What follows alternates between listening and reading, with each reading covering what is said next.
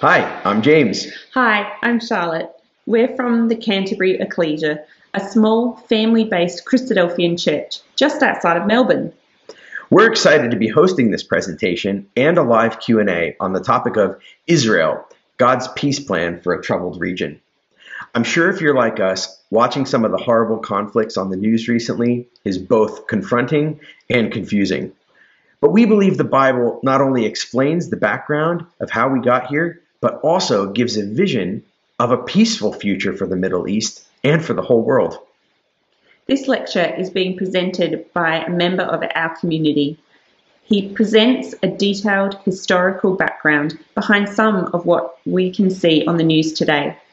If you're like me, you might hear many opinions about whose fault it is, who is provoking who, and depending on how far back you go, who started this conflict. Well, I'm excited to listen and to learn. So let's jump right in and we'll talk to you on the other side. Well, thanks for that introduction, James, and thank you all who have joined me for this uh, very important presentation on a very high profile topic of late. So we'll work our way through a number of biblical aspects of this, and we'll also be touching, of course, on some of the current issues. I would imagine that our uh, current perception of Israel is, as we've been seeing in the news media over the last few weeks, the uh, rocket attacks from Hamas, from, from Gaza, and the Iron Dome activity of Israel, where their rockets uh, take down most of the incoming ones through that very uh, sophisticated program they have. We've also seen the uh, response of the Israelis, where they are responding with attacking uh, parts of Gaza, either the tunnels where they believe Hamas have their weapons, or taking out buildings. All these rather amazing photographs we've seen where the uh, Israeli Air Force can uh, get these missiles to really take out the foundations and we just watch a building collapse. It's quite fascinating. Um, and of course, it consumes the world in watching these uh, issues of just what is going on there. And hopefully, what we'll address tonight will give you some further understanding of how these things are and just how it does fit in to the plan that God has as revealed to us in the Bible. Now, Israel, as you would be well aware, I'm sure, is a very small country in that very uh, central part of the Middle East. And it's amazing how much activity and how much profile it develops for such a small country. And that, of course, of itself is interesting in the sense of, well, how did that come about? And we'll have a look at a number of those aspects as we go through this evening. We're all we familiar with seeing Benjamin Netanyahu. He's really been synonymous with the state of Israel for the last several years. Been in and out of politics over many years, but he's certainly been the front uh, and the, the forefront uh, presenter for quite some years now. I think it's in the range of 15 years. And we regularly see him addressing the United Nations or making, uh, as he's doing there, or making other various comments. Now, I think we should say here that um, we are not endorsing here any form of government of Israel. We're looking at God's purpose with the with the nation, and that doesn't necessarily mean that we endorse either the government of Netanyahu or its activities, or alternative governments for that matter either. Uh, we're concerned with how the activities of Israel fit in with the purpose of God. Because God clearly has a purpose with Israel. Now, that doesn't mean, also, of course, a very important point, it doesn't mean that Israelis necessarily believe in God or that anyone there, any Jew, is more righteous than anyone else. It's a fact of life that they've been selected by God for this purpose, and they have a, some of them have a relationship with Him, and others are quite secular in their outlook. And that is another aspect that would come to the fore when these other events take place, and Israel does realise that God has been behind a lot of things that they think they've been doing themselves. We've also seen of late, uh, not anywhere anywhere near as well known, but uh, the leader of Hamas, uh, Khaled Mashal, he mainly spends his time in Qatar, but he directs Hamas from there. And he's been the uh, the other side of things in presenting the alternative view to the world and generating you know, the, the, press to make sure they're aware of the Palestinian side, which is his right to do, of course. He's supporting their view. Even if it's quite contrary to the view of Israel. And of course, then various countries and various individuals around the world form their own view on whether they're be pro-Israel or pro-Palestinian. Now, what might be a surprise to many people is that this is not a recent development. The situation has been developing for 4,000 years. And you might think, well, that's a bit outlandish, but we'll, we'll have a look at how that came about. Uh, it's a very important aspect, though, that it does go back quite so far. And the other aspect is that the, the current activities and the conflicts have been triggered by an event that occurred in 1948. So there's 73 years gone by there, which is quite a lengthy period of time in some ways, but small in relation to the total scene of history, of course. Now, going into the Bible, in the second book of the Bible in Exodus, uh, God speaks to these people of Israel, saying, Now, therefore, if you will indeed obey my voice and keep my covenant, you shall be my treasured possession among all peoples. For all the earth is mine, and you shall be to me a kingdom of priests and a holy nation. These are the words that you shall speak to the people of Israel. So, quite significantly, there we can see that there's a select purpose for Israel in the eyes of God. He has chosen them for a purpose. And we should mention that uh, we haven't got time to go through all these verses surrounding this matter, it's very huge, uh, that he didn't select them or all of them because they were more righteous than others, but because of their connection with Abraham, as we shall see, and also because he needed a nation to retain his word and to keep his word for the people of the world. So, what really comes out of that is, well, where did these people come from and why were they chosen by God? So, the background to that, and we're talking you know, roughly 4,000 years ago, 2000 BC, uh, we read there in the book of Genesis that the Lord said to Abram, which was his name before God converted to Abraham, and he was told to go from the country he was in, which is north of Israel, and to your kindred and your father's house to the land that I will show you. And then we see some very key points. This is a promise of God. It's not just a, a general line. This is a huge promise which is kept in currency for all that time. And I will make of you a great nation, and I will bless you and make your name great, so that you will be a blessing. And I will bless those who bless you, and him who dishonors you I will curse. And in you all the families of the earth shall be blessed.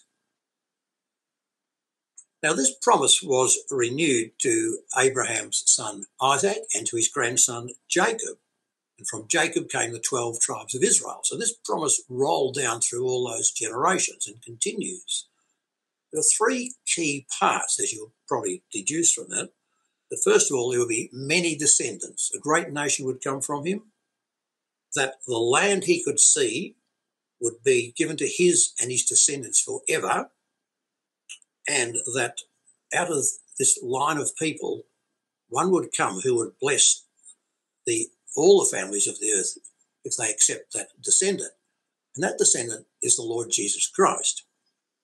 I'm not going to deviate into the genealogies to establish that, but because of the time factor in that, but Jesus Christ does descend from this line of Abraham, and that is a huge part of all these promises. Another key one, which is what causes the issue that we're looking at in relation to Israel and the Palestinians is this matter of Abraham being told that this land would be his and his descendants forever. And it is fundamentally the, the land of Israel that it is now, but going further north up to the river Euphrates. Now, just getting further aspects of that, the Lord said to Abram, after Lot had separated from him, Lift up your eyes and look from the place where you are, northward and southward and eastward and westward, for all the land that you see I will give to you and to your offspring forever. So that's expanding on the other parts of that, as well as the great nation and a descendant, there is the land, and he would have that forever. That doesn't mean, of course, that they were not to lose part of it for a period of time, but they were to return to that land if they were disposed from it. And it is quite clear, and it's talking about forever, not just a partial occupancy of that land. So that is the key to the issues that keep occurring in the land of Israel. Now, just a bit of background, because as you're presumably quite well aware, the Arab nations, so they also descended from Abraham, and that is quite true. They, they do, and the uh, Islamic religion makes uh, reference to that. Although we should note there that Islam developed some 600 years after Christ, which is some 2,600 years after Abraham. And they don't have that link to all those prophecies and the written records that go right back into that time frame. Nevertheless, they did clearly descend from Abraham. We can see there on the one side of the screen that Abraham, through his wife Sarah, had Isaac. He had a son called Jacob, and Jacob uh, was the one who his children were the formed the twelve tribes of Israel. So that's a key point in all those promises, and the promises were renewed, as I said, to Isaac and to Jacob, and through that they flow on into all his descendants, into the nation of Israel. But again, we should say that that doesn't necessarily mean that every individual within Israel endorses that fact or acknowledges God. Just a couple of bits here. We're not going to go into all the history of Israel. That would be a couple of nights in itself. But some of the key issues, they they were sent out of the land at various stages. In 721 BC, ten of the tribes were sent up to Assyria and did not actually return from there. 587, Judah, the main two tribes there, to Babylon and returned some 70 years later. Another key point is that from BC 63, the region was controlled by Rome, and that became quite significant in other events. Rolling on from there, we we move into the, the period after Christ, the 70 years after his death, the resurrection, after his birth, uh, the temple in Jerusalem was destroyed by the Romans. So the Roman occupancy was quite significant in their history. And then in 135 AD, after the Jews made a bit of an insurrection and tried to gain some control back again, uh, they were finally put down by the Romans and banished from the land. Now that's particularly significant because that leads into a lot of the issues that we'll look at as we roll through some other aspects of Scripture. And then there was various other uh, groups controlling that land. Uh, some of the Jews were still there as a, an oppressed people at that time, small groups of them, but most had been uh, banished from the land. Uh, we noticed by about 636, Muslim groups took over and kept running that for some period of time. Different ones would come and go. Another key issue was that from 1517, um, an Islamic group known as the Ottomans out of Turkey conquered the region and they held it for 400 years. And that's a very significant event when they were they were defeated and things changed from 1917. And then we find in 1948 the State of Israel proclaimed. So that's a rather condensed coverage of the history of Israel, but it does give us a, a, a handle on some of the key issues that have occurred. And the main bit being this banishment from the land and then ending up later with the State of Israel proclaimed after some 2,000 years. Now, this aspect of them being sent out of the land was known from the very early times. They were told, and I'm only doing a section of this here again because of time issues, but they were told that if they disobeyed, various things would happen to them. And the key one there is at the top of that slide the Lord will scatter you among all the peoples from one end of the earth to the other. Then further down, and you shall find no respite, and there shall be no resting place for the sole of your foot But the Lord will give you there a trembling heart and failing eyes and a languishing soul. Well, that really did become their lot in life after they were dispersed from Israel, particularly from initially in AD 70 and then completely in AD 135. They were spread across the earth and had a generally a very miserable time. They were oppressed by whatever nation they were living in, apart from some small numbers of them who would get into quite uh, positions of power and influence, but that was most unusual. Most of the dispersion, uh, they ended up in Europe. We see these are the countries where by the, the certainly the mid 1900s, there were, were millions of them in this area. And they developed into that area after they were dispersed from Israel in 135, mainly following in more or less on the coattails of the Roman army as they went through these areas. And so they set up trading posts and villages and towns and generally grew into quite a, a large group of people spread across these countries. Uh, by the 1930s, there were some uh, six million of them in Poland alone, and others, very large populations of them in most of those countries we see. Uh, again, we will skip the detail of that. I'm sure you'll generally familiar that's where they were. Now, they weren't solely there, but that was the primary area where they were. Others were in the still in closer regions, North Africa and um, some of the surrounding Arab countries of Israel. But by and large, the majority ended up in this European area. Now, many of the prophets, I'm just taking one here as an example, the prophet Jeremiah spoke at great length to the Jewish people. Chapter 16, verse 14, he was saying that, Behold, the days are coming, declares the Lord, when it shall no longer be said, As the Lord lives, who brought up the people of Israel out of the land of Egypt, but as the Lord lives, who brought up the people of Israel out of the north country and out of all the countries where he had driven them, for I will bring them back to their own land that I gave to their fathers. So we can't overestimate the significance of that, that they would be dispersed, but God would bring them back to their own land. And this is the basis of the issues we see before us in the current era. Then things began to develop. They were, say, they were away for almost 2,000 years, and then late 19th century there were stirrings. And we're just going to touch on some of the key issues here. Theodore Herzl didn't actually invent the idea of this of returning to the homeland. A lot of Russian Jews were particularly pining for it, and many throughout Europe. Theodore Herzl had the capacity through his uh, his intellect and his social connections. Uh, he wrote a book about the need of them to return. The Judenstaat um, developed a huge profile, and he also had the capacity and the sophistication to meet with very uh, senior statesmen. He ended up speaking to the Pope, the, the Sultan of Turkey and the, uh, the Chancellor of Germany. So he really got into these senior people's role positions, and he had that uh, level of capacity to talk that through. And interestingly, though, he didn't do it for religious reasons. A lot of people think he must be a very religious Jew. Strangely, he wasn't, but he was clearly a man who suited the purpose and was utilised by God to spread this message of the, the nations of the world really ought to start thinking about helping the Jews get back to their homeland. Herzl's activities generated a series of events called the Zionist Congress. They developed a, quite a large profile. This is a photo taken at the second one in Switzerland in 1898, and they uh, developed a massive profile that influenced the world.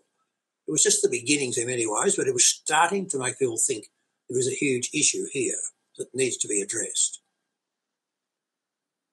And there was what was called the Balfour Declaration, where the British Foreign Secretary, Lord Balfour, was the one who put his name to it, but it was endorsed by the British government, in particular the British War Cabinet at the time, and they acknowledged the right of the Jews to a homeland in Palestine, which, as you might imagine, caused a huge issue with the Jewish population. thought it was wonderful, and it also strongly resonated with Bible believers who were looking for a time when the Jews would return to their land in accordance with Bible prophecy.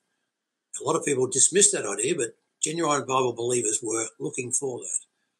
And interestingly, the, behind it, there were religious reasons. Uh, a number of the war cabinet who endorsed this were very strong on this view of they should facilitate the return of the Jews to assist in bringing about the return of Christ. There was a surprising number of Bible believers amongst them. But of course, there were also military and political reasons behind it. And we won't go through that that's a topic in its own.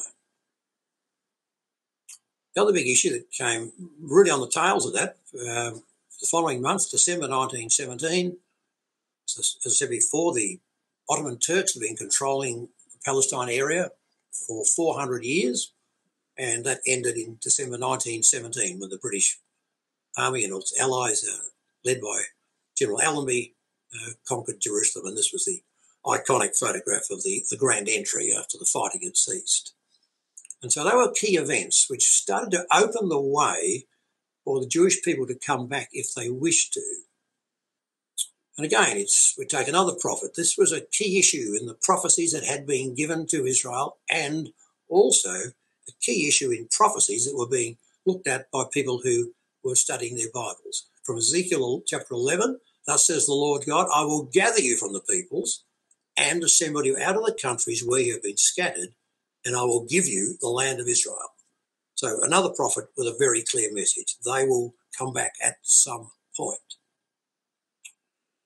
Now, we won't spend too much time on the detail here, but there were various events happening in Europe that facilitated a lot of them returning. They wanted to get out of the extreme persecution, particularly in Russia. You see the numbers there, relatively small, but moving. By the time we get down to the 1920s, they're starting to crank up because they're also getting uh, Arab persecution. And they started to move out. And then in the 1920s through to the just before World War One, quite an increase in the number of Jews around the world going to uh, Israel, particularly because they could see things were going bad in Germany. And so it's the ones who could perceive where that might go who got out and migrated to Israel. Not that it was called Israel at that exact date, but particularly the area of Palestine, which had been labelled at that point. Now, interestingly, um, prior to World War II, which follows that chart there, there were, there were a total of about 400,000 Jews in Israel, and most of those had come, as you can see there, in the 1930s. But then there was a surge, and 700,000 of them arrived between 1948 and 1951. And most were Holocaust survivors from Europe. See, that, um, in the sense, that lines up with Jeremiah 16, because God said that I will send for many fishers, declares the Lord, and they shall catch them, and after I will send for many hunters, and they shall hunt them from every mountain and every hill and out of the clefts of the rocks. So most of those coming back were, after the war, were Holocaust survivors. But prior to that, as I say, it was relatively small. And we can see how that fits with the verse we just looked at from Jeremiah, where you could say in some ways they were being fished back in through the eliminating the Turks out of the area so they could return and generating activities that focused on that, but only a relatively small number returned. And it needed the hunters to trigger this line of thought with them that the only option was to get out of Europe and the surrounding countries. And that's what uh, caused the massive influx immediately after the Second World War. Uh, so, so money from Europe, but quite a lot in the 1950s coming out of Arabic and Northern African countries. And so by 1960, the population had grown to 2 million, so a massive uh, hike, and now it's up to 7 million, including several hundred thousand Arabs who live within Israel itself. That's excluding the West Bank and Gaza, and they are uh, many of those uh, Israeli citizens. And they poured back, despite a lot of opposition in many cases, in many cases, opposition from the British, on vessels such as this, named the Exodus, beat up old ships they obtained and packed them full of people and sailed to Israel. And that was where most of them poured back in.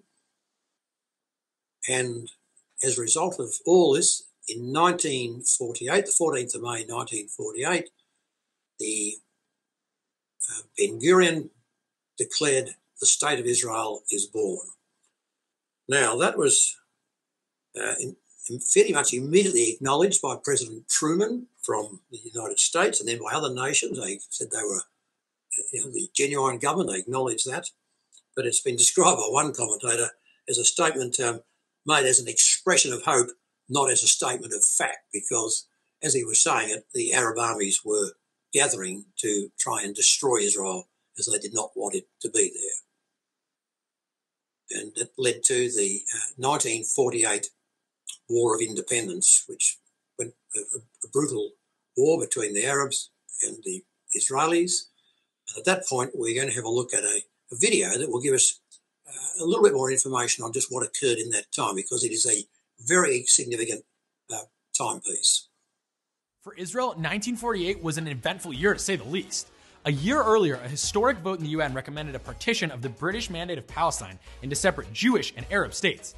And in the wake of the Holocaust, the international community voted overwhelmingly in favor of the Jewish right to self determination. By 1948, Israel's early leaders were ready to create a Jewish state alongside their Arab neighbors. Not everyone in the international community was so supportive. Surrounding Arab nations openly threatened to wipe out Israel in its infancy. The war that ensued was complex to say the least. The 1948 Arab Israeli War, or fair warning, this war has like six different names, so bear with me. It was also known as the 1948 War of Independence, or Milchemet Komimut, the War of Sovereignty in English as Ben Gurion called it, or the War of Liberation by the Israeli Army, and the Nakba, or catastrophe by many Arabs. These names reflect the different realities of the war and its consequences on different people. To some, 1948 was a year of miracles, as key world powers like the Soviets and Americans supported the establishment of a Jewish state, while to others, 1948 was an unequivocal catastrophe, as the war brought with it loss of life and land. So, what exactly happened in the war, and why does it matter today? Let's get into it.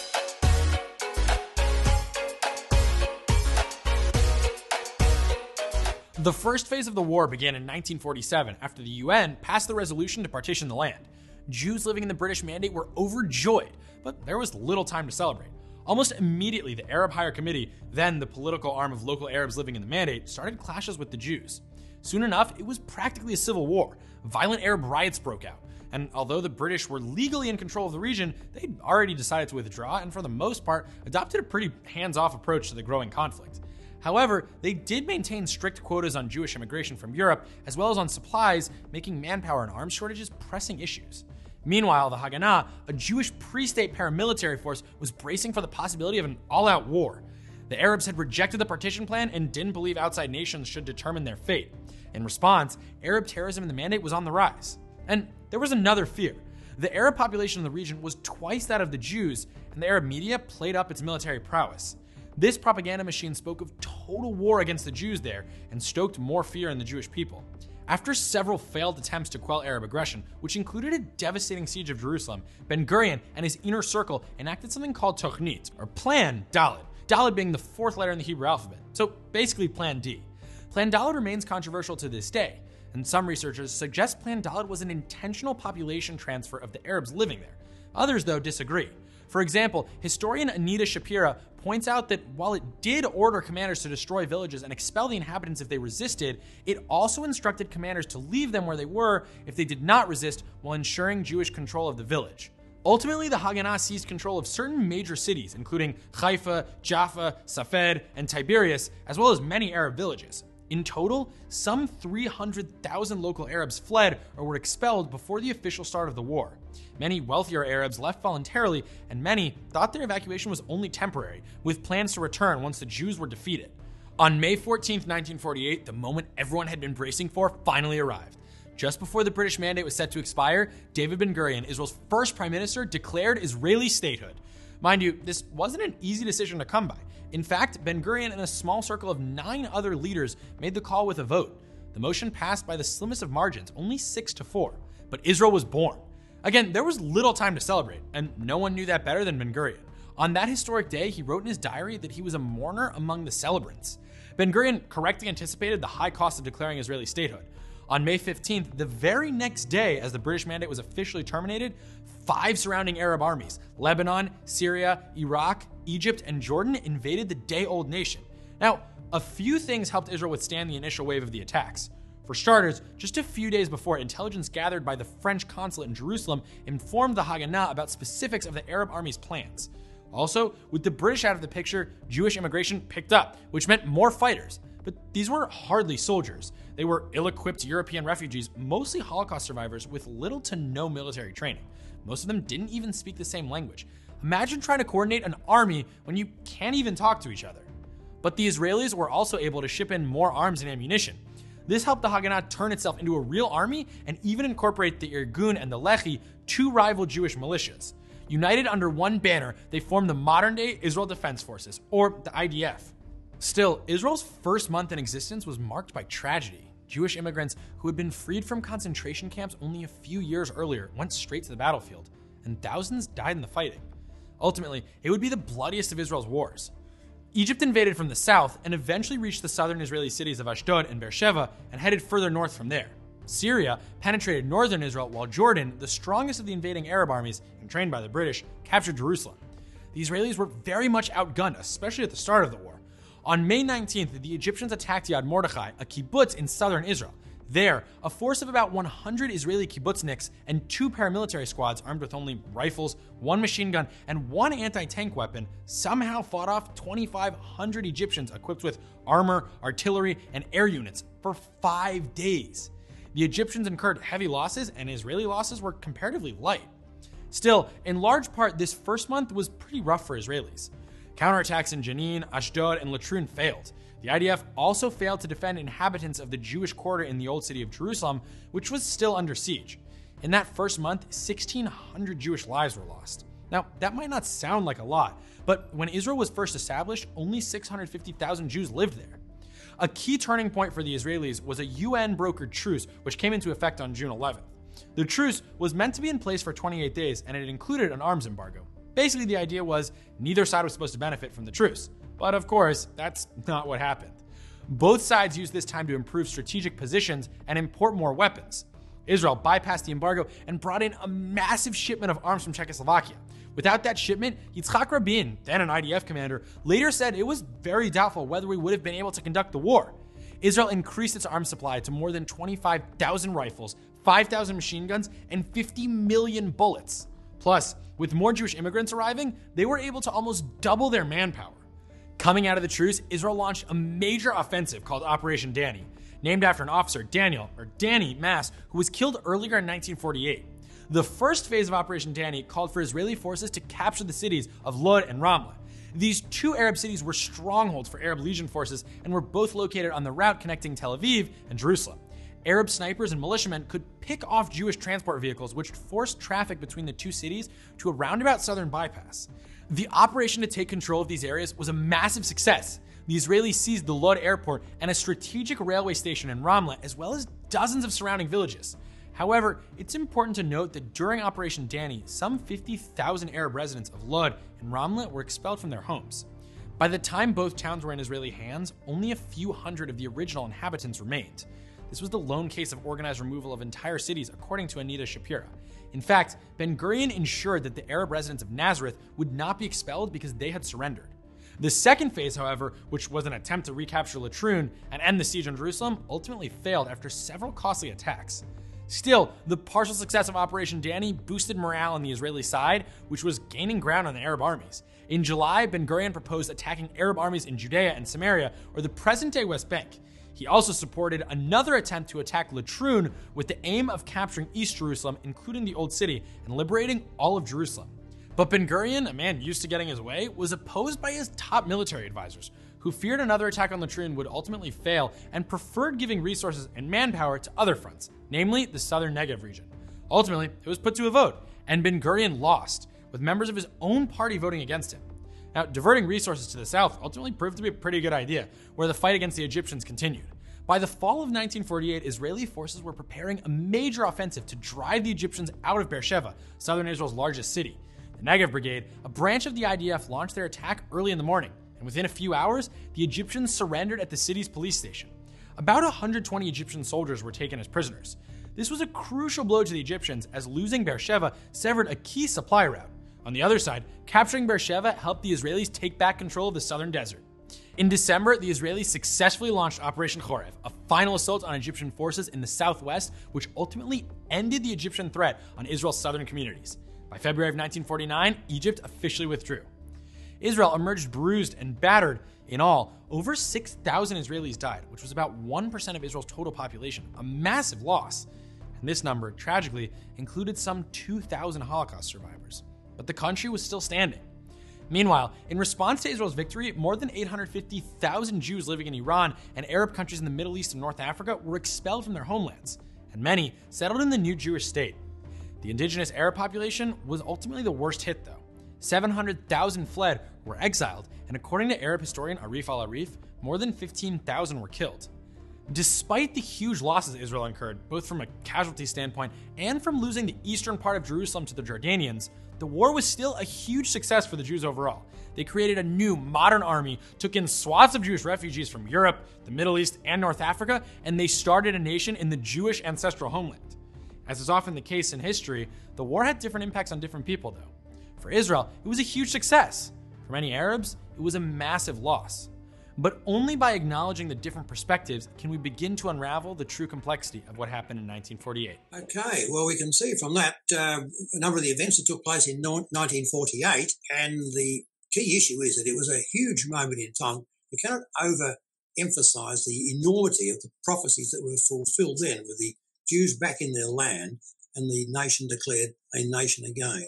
So it fulfills the prophecies, and that, to say, is huge. It's probably second only to the Old Testament prophecies about a coming Messiah.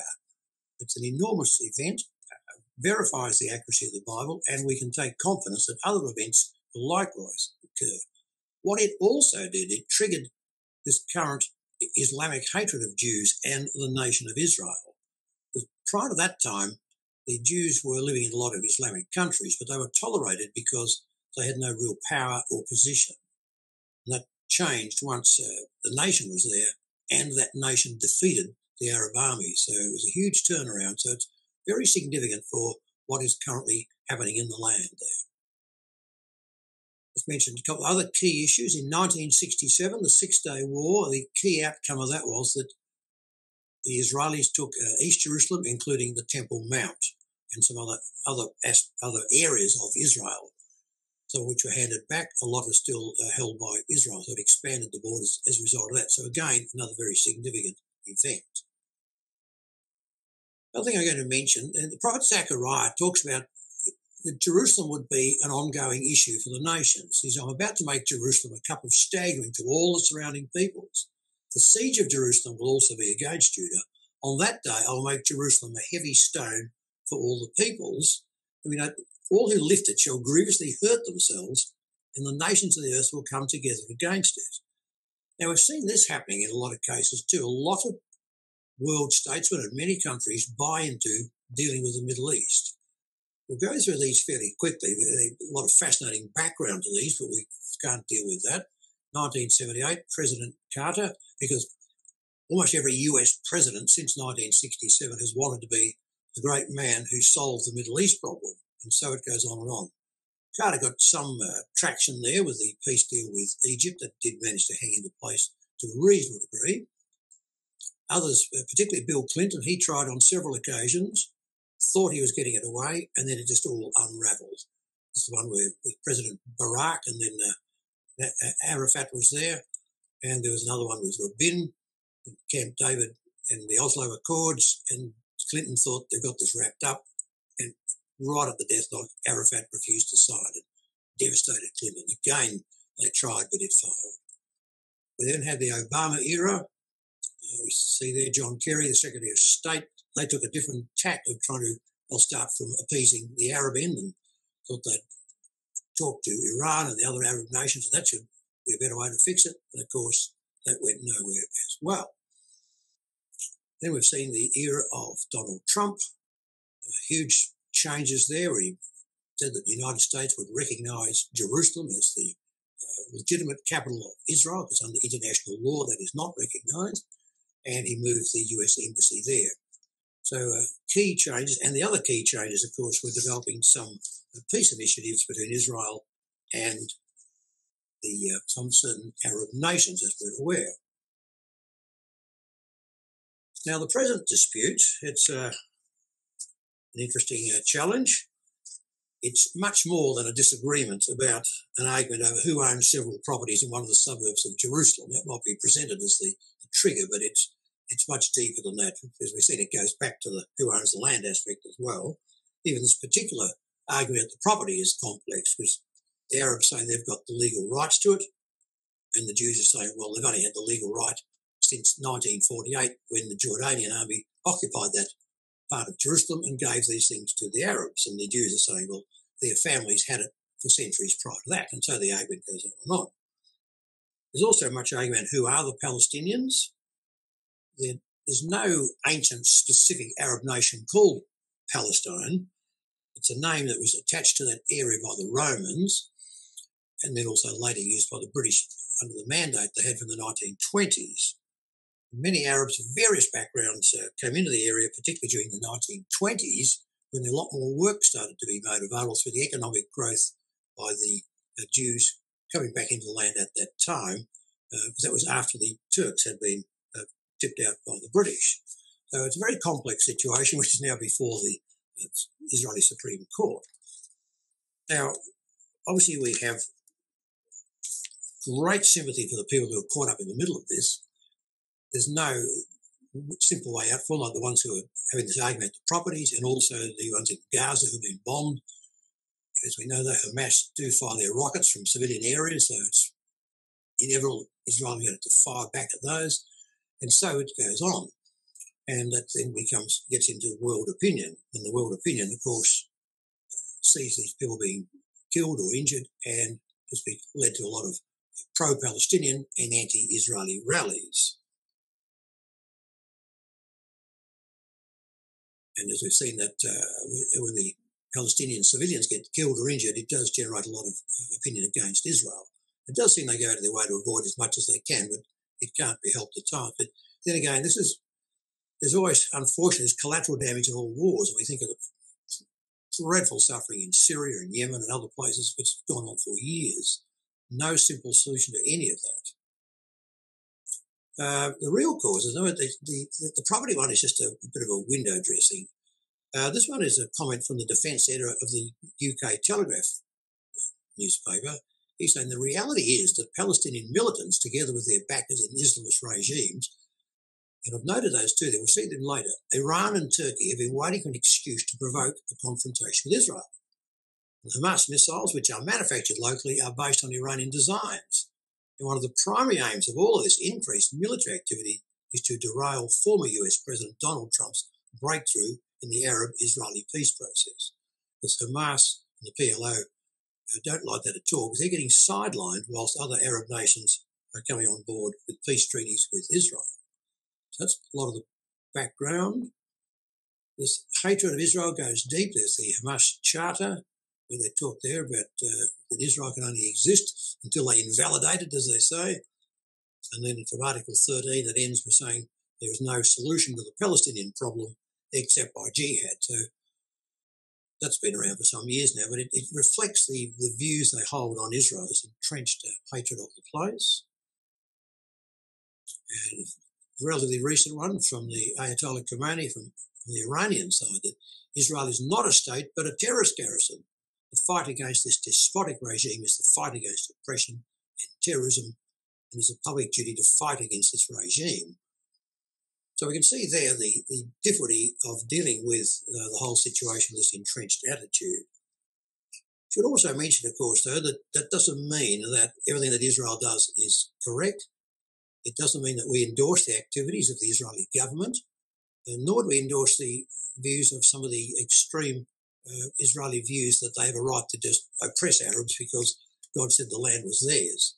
It might be the case that it will be revealed at some point when it's fully revealed, but that doesn't give them the right to really oppress the people who live within uh, Israel itself and others. But nevertheless, these are the issues that keep bubbling along in that area. Uh, it's also thought that part of the current activity is to do with uh, you know, welcome Mr. US President, and uh, because they could see opportunity here with Biden taking a different approach to Trump, including you know he's back trying to restore that uh, recognising the Houthi group in Yemen as a doesn't say they're a terrorist organisation anymore. He wants to resume negotiations with Iran over the nuclear deal, and he's reinstated the aid to the Palestinians. Now, Hamas has jumped on that as a good opportunity to stir things along whilst all that's occurring. That's got a shift from Trump, and again, we don't express a view on one president's view versus the other politically, but we can see that the variance in approach is dealing with these current issues. Now, other activities will take place in in in that area, and again, we've got to do this without all the background detail. But the prophet Ezekiel talks about when Israel is back in the land, events will occur, and northern nations will pour down against him in a great battle. And he talks there about Gog, chief prince of Meshech and Tubal, often taken to be Russia. A lot of commentary about why that is so, but we won't tackle that. And he says they will come in, and we find there down a bit further, the great host, all of them with buckler and shield wielding swords. Persia, as it was called then, in fact, called Persia for practically all of its lifetime, which is Iran, and it's of interest, we imagine. Cush and Put, uh, nations in that area also, Libya, Ethiopia probably, all of them with shield and helmet, Gomer and all his hordes, and there's a lot of connection that Gomer refers to some European countries. Beth Togarmah, generally regarded as Turkey, and these are the ones that will come against Israel in what they call the last days. So events will still occur there that will be difficult.